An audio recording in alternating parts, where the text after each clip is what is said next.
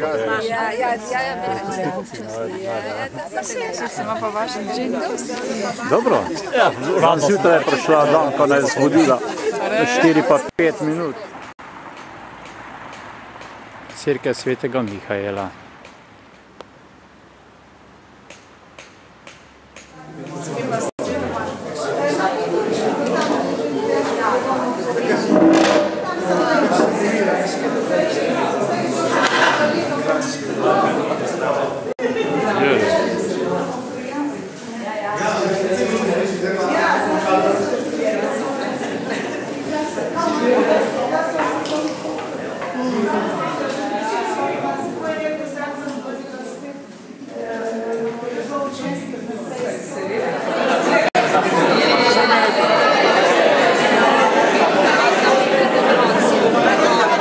Ta energija, ki jo bomo danes deležni, popotnica skozi celo skavtsko leto za premagovanje osebnih, ne vem kakih še težav, ampak trdni bodimo, pa mislim, da bo šlo. No? Tako da, lep dan želim vsem skupaj, pa prijetno počutje, potem tudi eh, ob pomaši še ne se razbežati, pa še bomo to pospravili, kar je noter. Velja, dobro.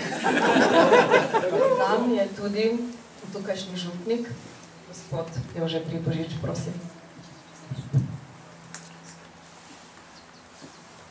Prav lepo pozdravljeni tu na tem cerkvenem dvorišču cerkve svetega Mihaela. Še enega gospoda pozdravljam, župana mestne občine Šoštan, gospoda Darka Menika. Ja, hvala lepa. Vse sem mislil, da res pozdravljam. Prav lep pozdrav tu v Šoštanju, v občini Šoštan. Eh, občina Šoštan je nastala 94. leta, ko so se razšle vse tri občine.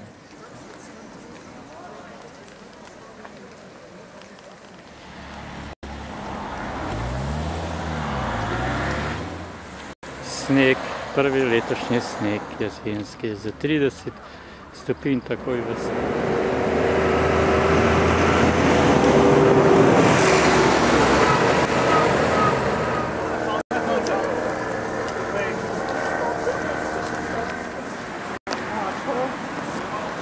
Marko, pa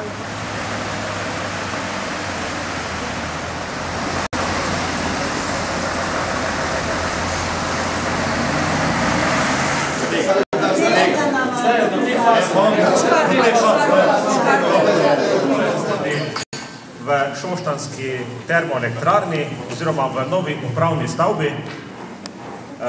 Dele bom jaz najprej eh, lepo pozdravljam predstavnike termoelektrarne, eh, tudi gospoda direktorja Simona Tota eh, in se kar na začetku zahvalim za njihovo gostoljubje, za to, da so sprejeli našo prošnjo, eh, da danes pridemo v termoelektrarno, da si to termoelektrarno lahko ogledamo, eh, ker to je največji termoenergetski objekt v Sloveniji in je pomemben za celo Slovenijo, verjetno pa določene stvari slabo poznamo. Tako da, Simon, res hvala lepa. Ne zameriti, skauti se tikamo med sabo, Simona pa tudi tikam, sma generacija, tako da se v bistvu poznamo iz mladosti ven. Eh, Ja. Koga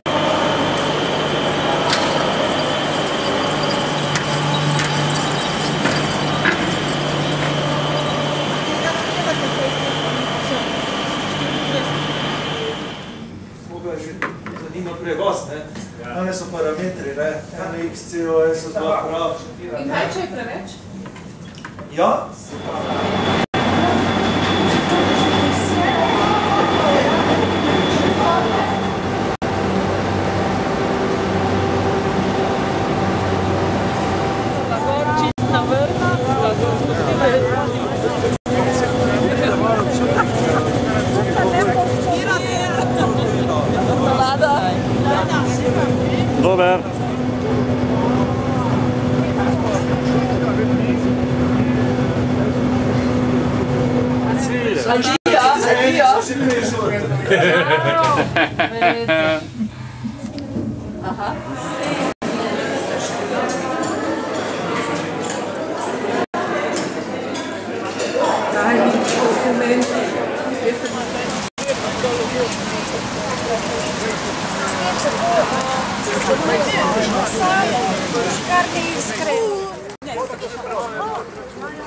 pa bolj počas. Naložimo.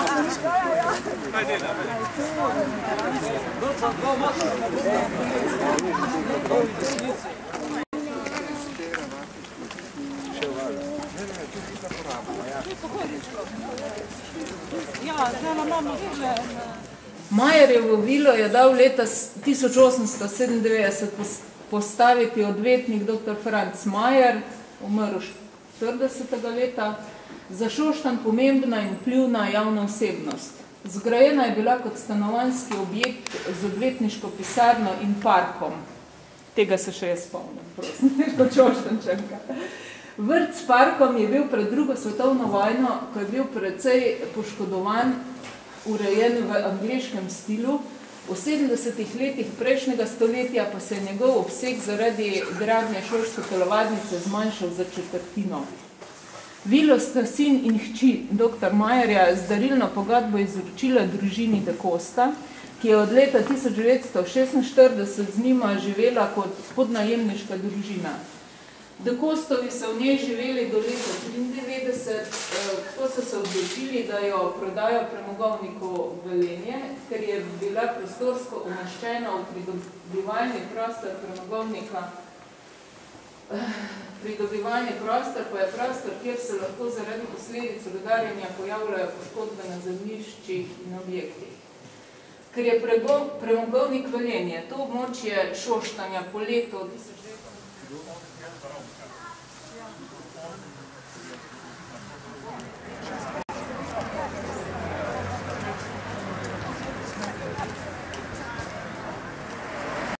Monica, you hold on.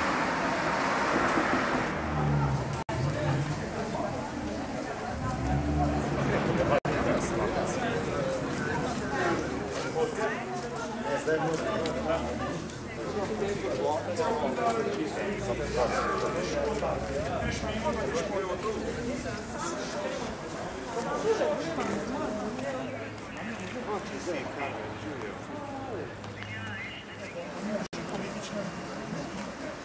Dom. So pa tudi tajne predladje, grejo v dom na spremembe forme. Ja. Je njihov, ne? Je bil njihov. Ja, ta je bil. Zdaj pa do kapitalizma. To, so- že- to so ženske bele kože. Vsaka umazana pa težka dela so delala. na- Ja, ja. A gremo si zdaj pogledati. si pogledati.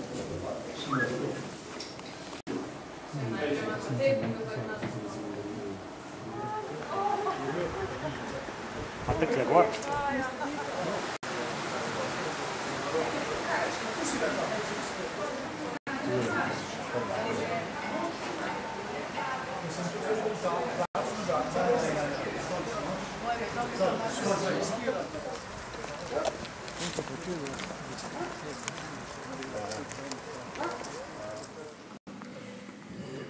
Scouts, isto é o jazz? Zaupanje je osnova za sodelovanje, za prijateljstvo, za skavtskega duha med Nastavite se, kaj ti žeto je zrela. Pridite, teptajte, ker je stiskalnica polna. Prikipevajo vinske kadi, velika je njihova moč, namreč njihova hudobiti. I Gospod, slišen kruhu in vinu, tu tvoje je telo in moja kri. Eh, Podelitev eh, našitkov Skavtske akademije, da bodo tisti, ki te našitke prejmejo, lahko prišli eh, tu sem, kjer se bo ta podelitev izvajala. Uh, mislim, da vsi vemo, da Skavtska akademija že dve leti uspešno deluje.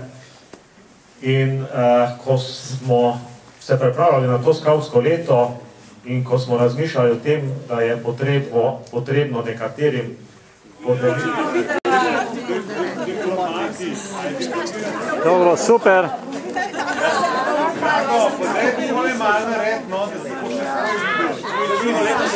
vikend pa zaradi upravičljivih razlogov niso mogli upraviti še drugega vikenda in ga bodo zdaj v naslednji, uh, ko bo naslednjič na vrsti. Tu so Manja, tu je Urška iz uh, Štepanje vasi, ki je sicer ni tukaj, tu je tudi Tone Lampret.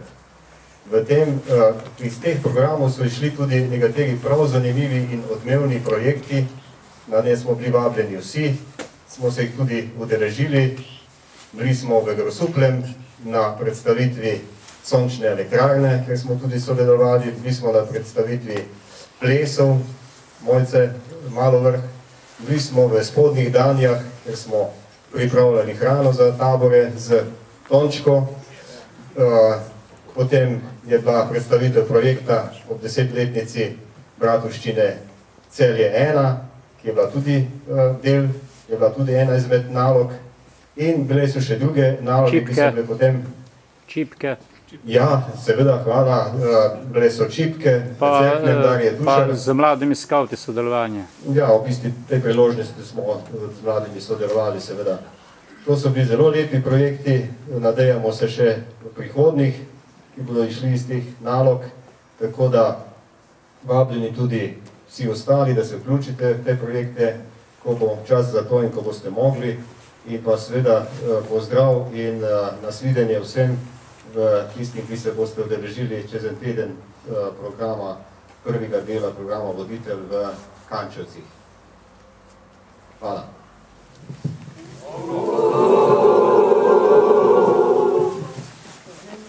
Tone, hvala za te besede.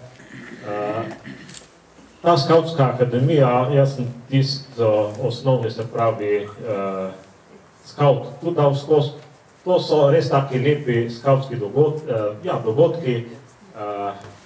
Malo se človek nauči, kako zadeve peljati, ker pač vsega še ne vemo. To bi bilo, kar se tiče tele podelitve našitkov. Kaj pred nami je, ja bom rekel, konec slovo za danes. Želim vam, da se srečno pripeljete domov, predvsem pa seveda polni energije, da bomo v novo skautsko leto res zakorakali z novimi močmi. Tako smo mi na hiter dal naslov z novo energijo v novo skautsko leto. Jaz sem rekel, za konc sem ta teden dobil eno pošto s tole mislijo, pa sem rekel, bom na koncu vam jo prebral kot, ja bom rekel, mogoče ena misel, ki jo v tem skautskem letu vsak zase skušajmo uresničevati. Pravi pa takole. Preden spregovoriš, prisluhni. Preden reagiraš, premisli. Preden kritiziraš, počakaj. Preden moliš, odpusti. Preden odnehaš, poskusi.